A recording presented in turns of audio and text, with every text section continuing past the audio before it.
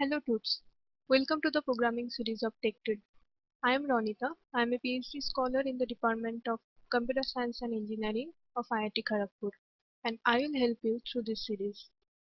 First of all, you need to understand that you don't need any kind of previous experience or knowledge of programming to attend this course because we will be covering every aspects of programming as well as we will give you tips and tricks to crack the questions appearing in the GATE exam. So let's take an overview of the course. So the course structure has been designed taking into account the GATE syllabus. First of all, there will be introduction where we will tell you about the basics of programming.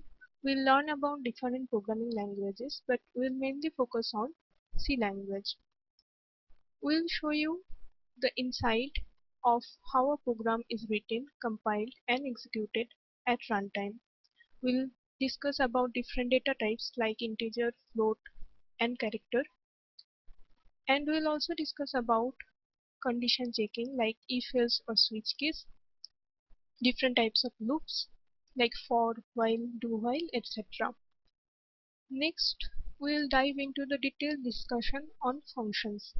So in functions, we'll talk about parameter passing and recursion and as you can understand that function is really an essential part in a procedure oriented language like C. Next we'll talk about pointers where we'll be dealing with address of variables like how to access and modify values of variables using its address.